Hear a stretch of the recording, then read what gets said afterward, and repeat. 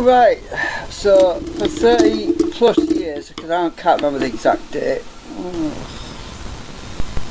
oh, 30 plus years I made this cardboard vacuum cleaner and before I dismantle it, uh, we'll give it one more blast because I'm going to be dismantling it. I want to get the motor out you see. So I did some videos on it earlier so you can go and check the videos but it's got a lot of output pressure on it. Um, uh, let's see, put that in front of the thing. Now, let's turn it on, let's watch what happens before, this is before I dismantle it.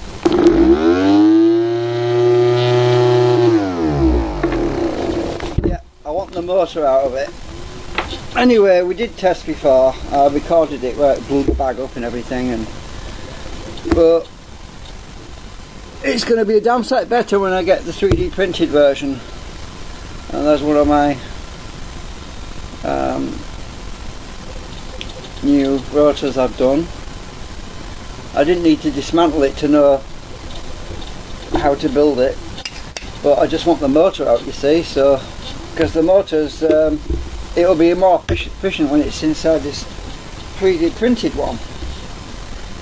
Um, so where do we start? Well we start at the motor end so because it's all stuck together with sellotape, it's not going to be a big job. So it's simple really. Just get my knife and start cutting it apart.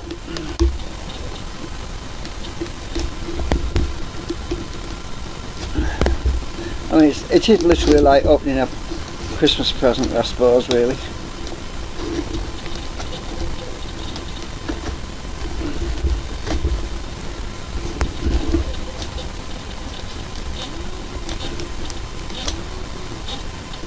It's a Christmas present I made for myself. right. There we go. That ends off. Now it, the motor's attached, so check this out. The um, I'll have to take this. I'll have to, oh, I glued it in. Actually, I glued the motor in there. So yeah, it's going to be I'm going to have to use a bit of um,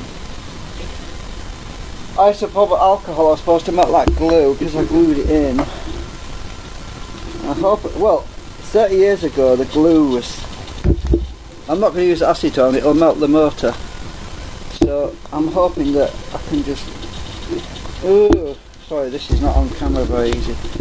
I'm just hoping that this will melt it sufficiently to Oh, my wire came off. Oh well, let's take other one off while we're at it because the wires are, are only going to get in the way. Can I get it? Will it loosen it enough? It looks like the motor's coming out actually. It's actually, the end's coming off anyway. It is literally just cardboard. Uh, it's a nice motor. I even forgot what it looks like. I forgot what it looks like. Let's ease this off a bit with my knife actually, this glue. Um, I'm trying to keep the camera on it.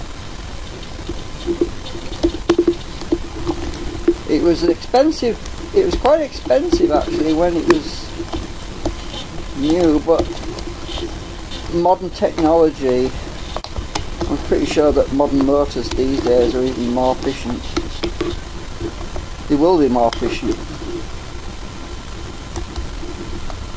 I kind of feel a bit sad that I'm taking it apart because I will no longer have the novelty of the cardboard vacuum cleaner.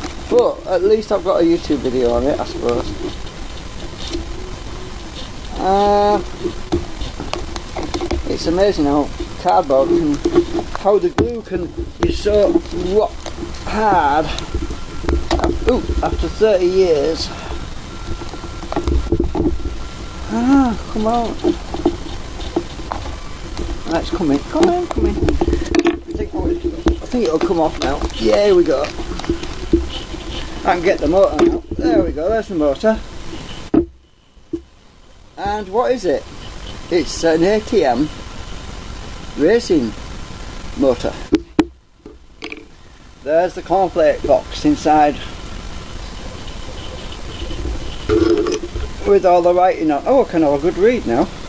Oh my god, look at the fashions. oh my god, there's Dustin Hoffman in there. Oh, it's Dustin Hoffman.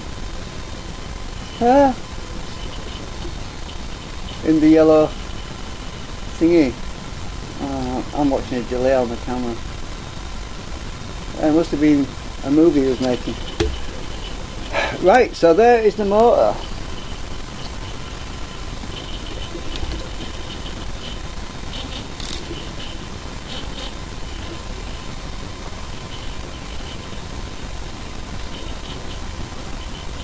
Right, I hope you can read that. Uh, basically the label's intact, it says a King Motor, oh, A King Motor Co Limited.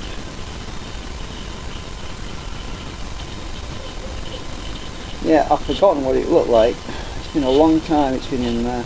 The coils on it are massive. It'll still turn even without the um,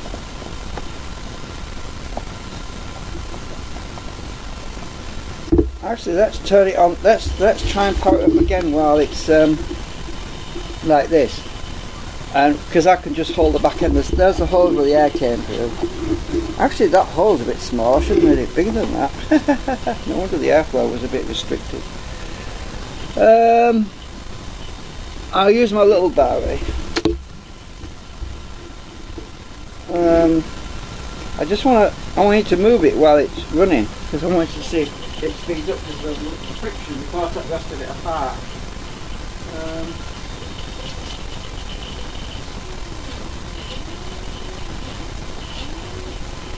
we just before I dismantle all of it, actually forgotten which is positive now. That's positive. Right, so that will be that one. Because I couldn't pull it before, it was too flat, you know. This is the other battery, so it'll run a bit slower. Now, what I'm curious about is, because it, it was rubbing, you see, and now, let's just, I need to turn this way around so I can get my hand. It's catching somewhere. Oh, it won't start on this battery, this battery must be flat. Ah,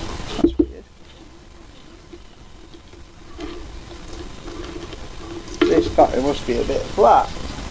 Uh, I'll put the other one back on, I'll use the first battery I was using before. Um,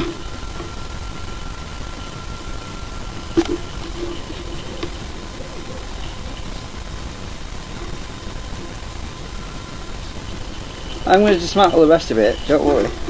We'll get there. Um, positive, is that one?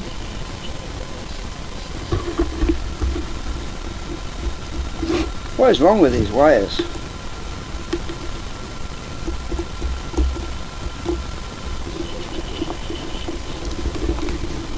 I don't get it. It was working a minute ago. Ah. Right, it, it is catching somewhere.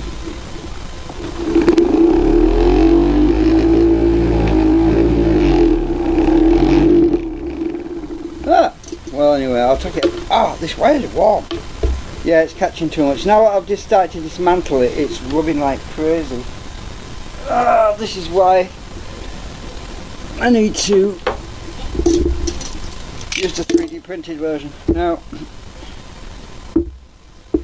right, so how do we get, how are we going to get the rest of this apart? Right, well, it looks like it's going to be the case of the way I assemble it. And if I remember rightly, I just wrap these things around there. So what I'm going to have to do is an autopsy on it. Oh, that's going to be fun. What's the best way to do an autopsy? Well, I'll just have to carry on a knife.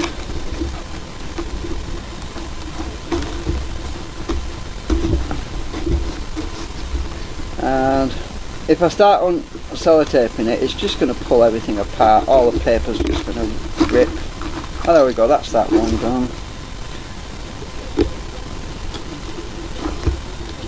I thought I recorded for posterity. Yeah.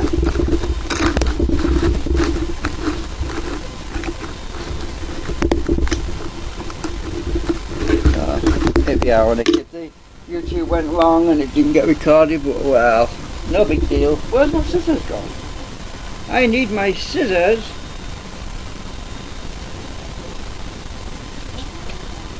I don't know where I put them. Oh, there they are. right under my nose end. So I find the seam. Where's the seam? There's the seam. There's always a seam with cornflake packets. So if you didn't doubt, if you did, if you didn't, if you had doubts that this was cardboard, there you go.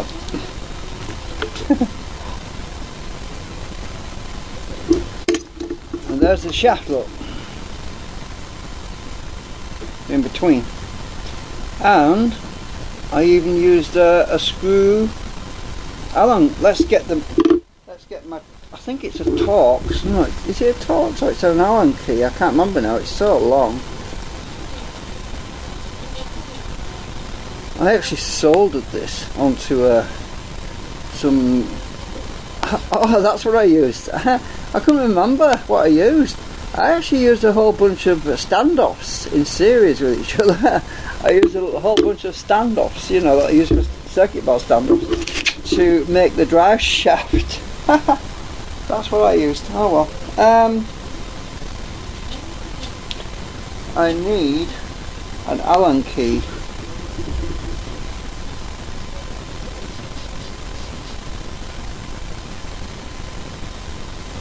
It's actually a bit rusty, is that?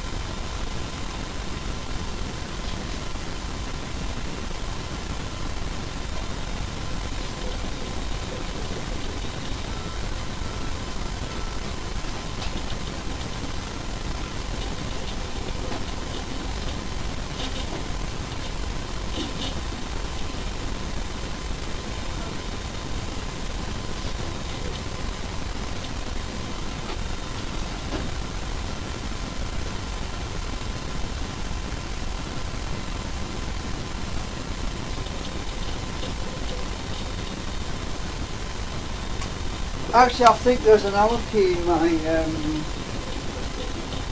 my soldering iron box. It might fit. I'll have to try it. My soldering iron kit thing has a Allen key in here, and it might be the right one. I'll have to look because I can't, can't find my others at the moment. Let's have a look. Will it fit? Um,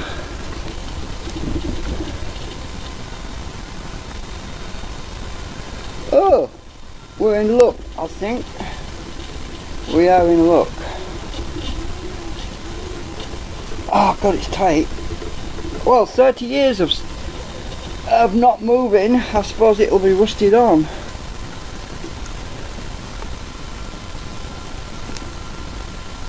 Ah, got you.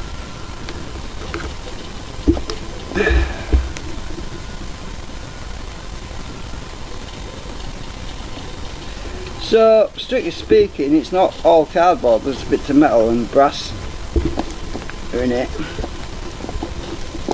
God, it's still stuck on there. I've loosened the Allen key and it still won't come off.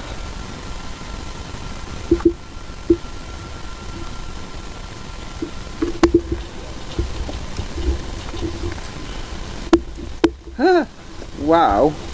Let's just try a bit of WD-40 on it.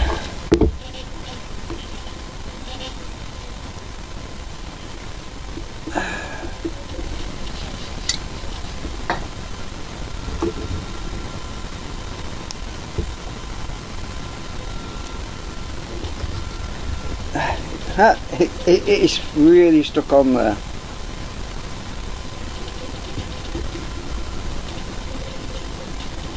I'll put my soldering kit away.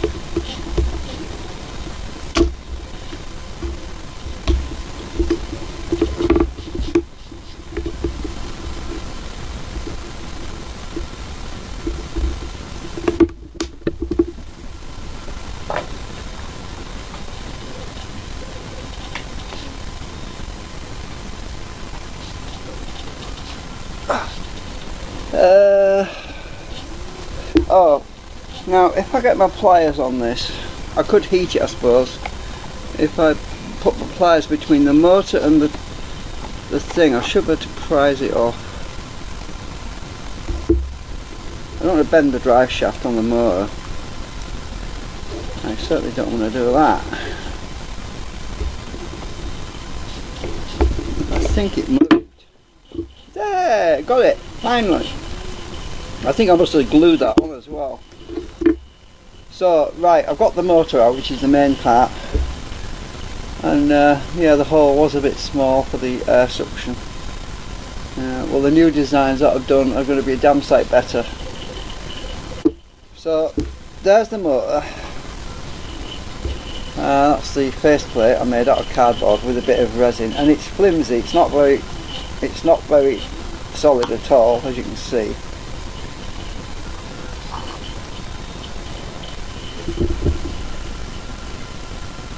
So, how fast does this motor spin without a load on it? Because I can't remember.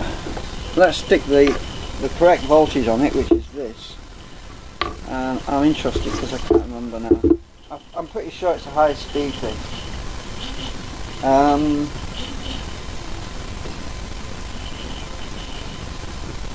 huh. Oh well, I'll put the frigging wire now.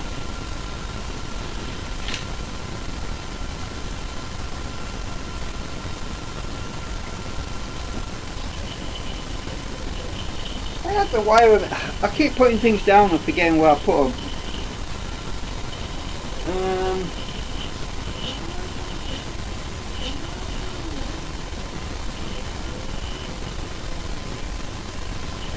I don't know. Keyboard? I don't know.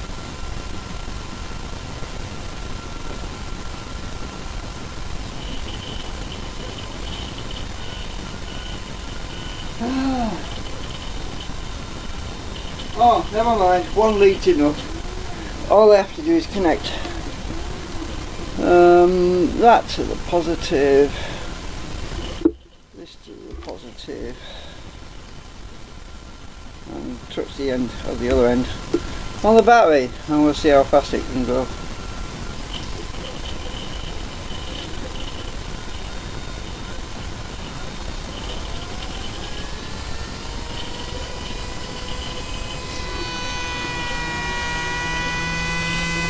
Pretty fast. And it's not getting very warm now because there's no load on it at all and it's not rubbing on anything but it's a good motor. It uses a lot of power though. So we probably at some point need a more efficient motor. It's actually, um, as far as I'm aware, believe it's 7 volts or something. Supposed to be, oh, it's 6 volts. It doesn't actually say. Oh, it says 5. A AK523 forward slash 5 so I assume it's 5 volt oh it says on here 22,000 RPM right so this is capable of going up to 22,000 RPM right that's what it says on the motor. Uh, let's see if we can get this try and get this on there. Um, it's that shiny stuff it's hard to see. Don't even see that. But it's in the it's in the uh, red writing that's between the blue and the large red so it's the red it's the small print. Um, yeah. But it says 22,000 RPM that's its capability. Um, Anyway, I might as well carry on dismantling this thing because I'm pretty sure people are interested to see what's inside it. But that motor on the other end is just an empty shell. I only used it as a bearing at the time because it was the 80s. I mean, it wasn't cheap to buy. We didn't have eBay in the 1980s, so we couldn't just go online and buy a, a bearing. I mean, you went to a, a local ironmonger's and to buy a bearing, you, it might cost you seven quid. You know, it's ridiculous prices back then. So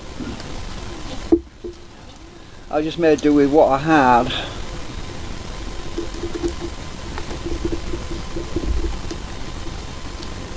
And the fun part is, is, was when we get to the turbines that I actually designed in the 80s. I mean, I did.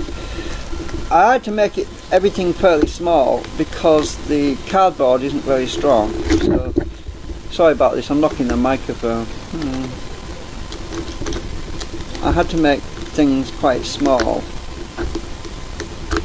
um, because the tolerances of cardboard as you know when it's flying around at high speed or it didn't actually fly around at 22,000 RPM like I was expecting because the there was a lot of drag. It was catching everywhere. And cardboard tends to move and creep and warp and um, yeah it was just it's very unstable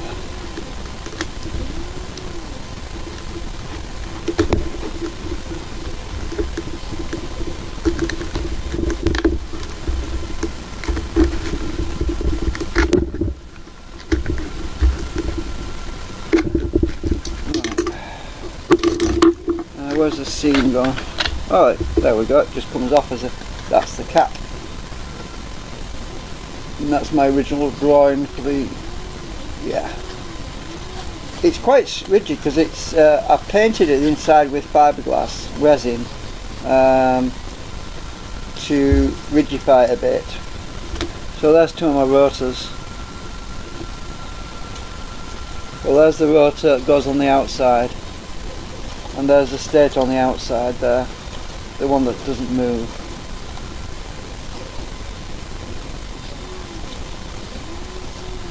As you can see it's wobbling like crazy.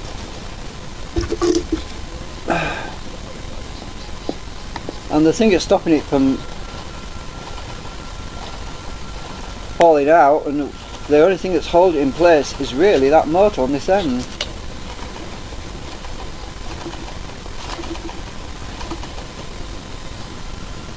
and it's going to be fun to get the rest of it apart because I believe that there are nuts between each section. So I've got to undo these nuts now. Ah, or maybe we don't need to undo the rest of it because let's face it we only need to see two of the two of them the way I made them originally. Um, and that's what we're looking at. I mean, the, the rest of them are identical. Uh, basically, all we've got is the stator, and it goes to centre hole, um, which feeds the next set of stators. So there's one, two, three, four. There's four stators um, on this. Um, so yeah, there's not much point taking the rest of it apart. It's just you know, all I'm going to. Uh, the only thing I'm going to retrieve out of there is a load of cardboard, and it's it's kind of pointless really. I might as well just leave it it actually still blows eh? even I can feel it on through the hole there at the bottom air still coming out just by spinning it by hand and there's actually a lot of drag on it Well, it's not too bad, but. Hmm.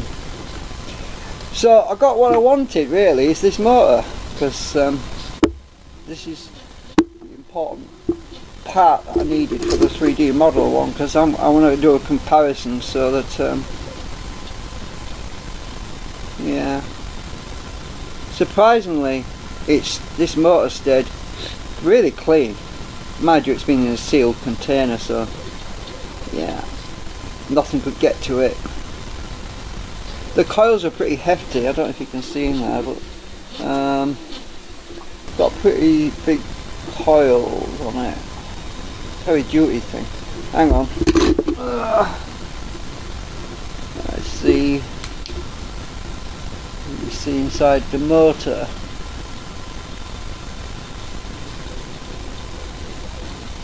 uh, you probably can.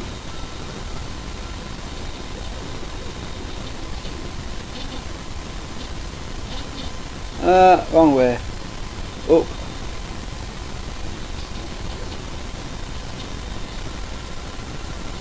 Uh, I keep doing everything backwards.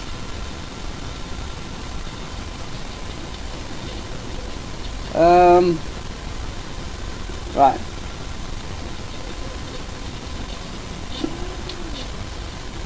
Yeah.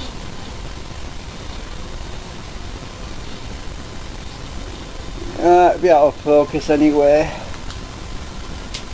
It looks like um,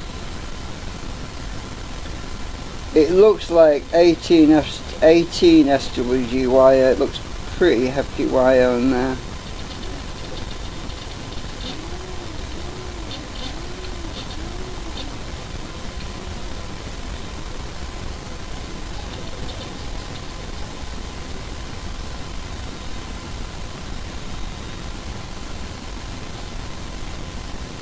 The magnets have got a, lot of cogging. It's got a lot of cogging on it. That's probably another thing that's...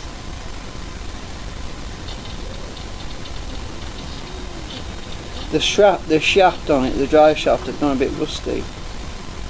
A bit of moisture has obviously got into it.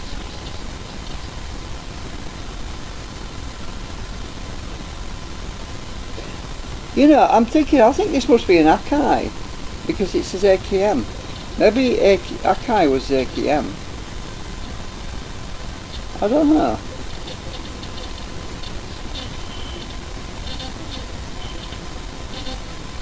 No, it just says Air King Motor Co Limited, so I'm not sure who made it. They're probably gone out of business. I have no idea where I got it from. I don't know if I bought it. I probably did actually. I probably did buy it. Probably bought it from a model shop.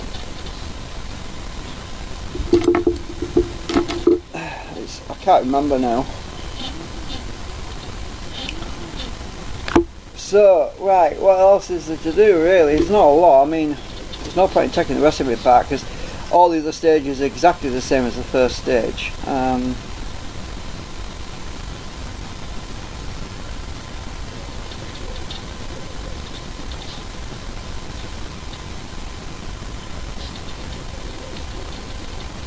and to be honest with you, I'm not sure I think I, oh I think I, this would unscrew. Probably would unscrew. Let's just, if I can just unscrew the top one. Ah, God, that's tight.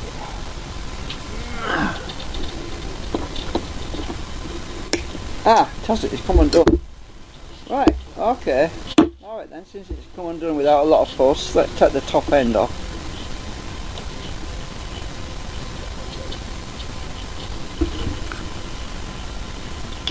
Ah.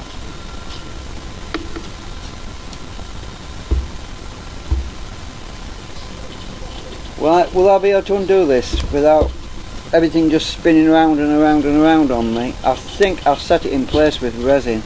Yep, I did. I actually put some resin in there to stop it from turning, so I don't think I'm going to have... Which, I don't think I'm going to be able to... Oh, I have a feeling it's just going to go around and around and on me. Let's look through this window to see. Oh, I think it is, yeah. Yeah, the other rotor's underneath are going around when I turn this nut, so we're not going to get it off without basically dismantle this end as well. So it's not going to be a simple task to actually get it off. So I say leave it, just leave it, because no, I don't need to take it apart. If it had come apart easily, then yeah, I would have done, but it's still something worth looking at, you know, to show people or as a reference point. Uh, once I destroyed it, it's gone forever, so. Now I've put it back, it's cockeyed now, look.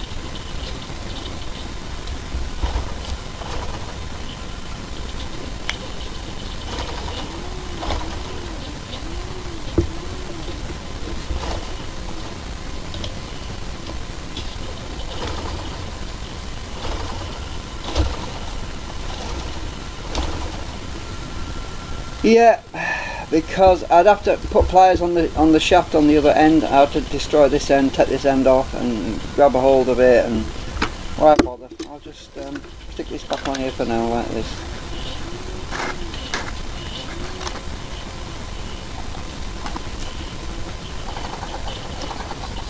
I've still got a partial cardboard vacuum cleaner.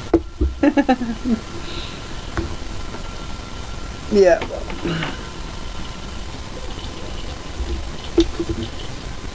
But there's not much else to see in there, really. I do have to take this uh, motor off here. Um, off this face plate thing. Um, screwdriver. Oh, my knees are cramped up today.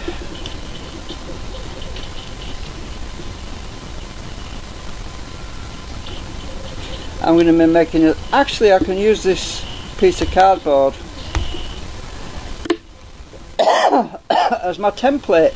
I, uh, I can scan it and then draw around it and get my holes the right positions and everything to make the uh, 3D printed one if I want.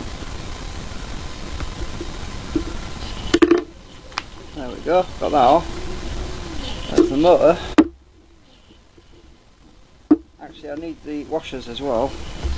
They're kind of stuck on there. They're stuck to the resin. Got ya. I'm pretty sure these screws came with the motor so yeah there's the template part I can use that bit just to because the motor does require cooling so oh that's probably why I made the hole quite small because I wanted air to go through the motor to cool the motor. Yeah that, that would that makes sense.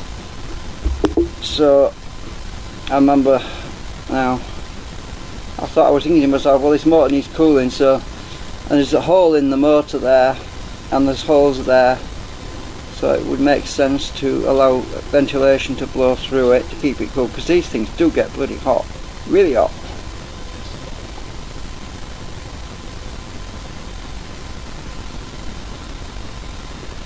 Mind you, if it's working in an efficient in an efficient environment without any drag and it's got good bearings on it, I'm hoping that I'll get it should go a lot faster and it shouldn't get over it shouldn't overheat.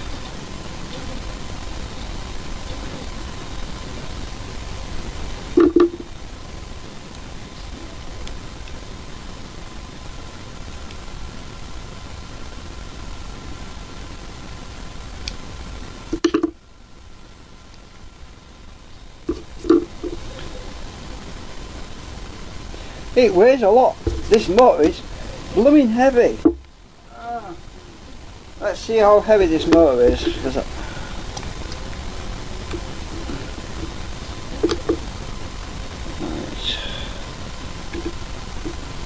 This motor weighs 154 grams.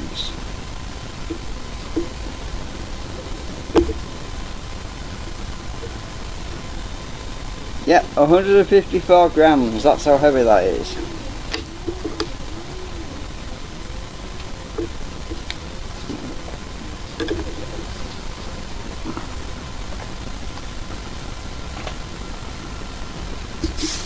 Including screws.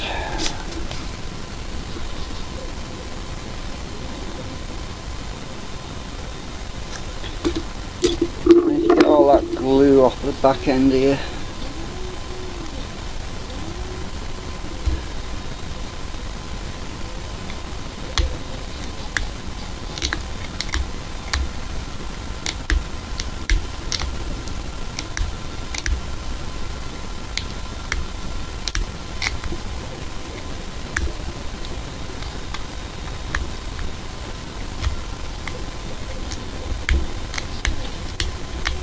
I just have thought, I think my sister was still alive when I made this.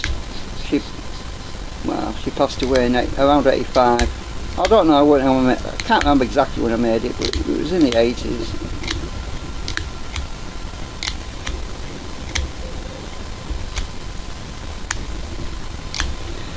That looks a bit better. Doesn't have all that crud around the and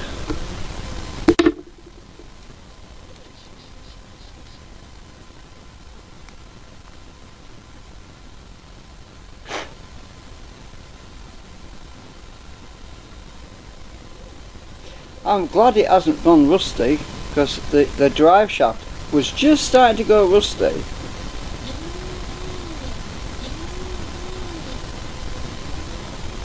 Uh, emery paper, let's just clean that up a bit.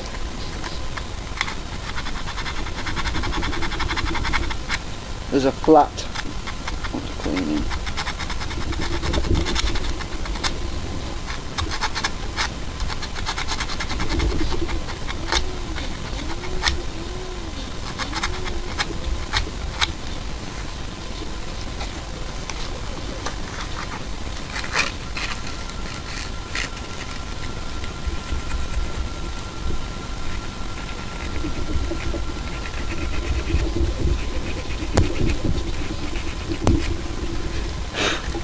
Better.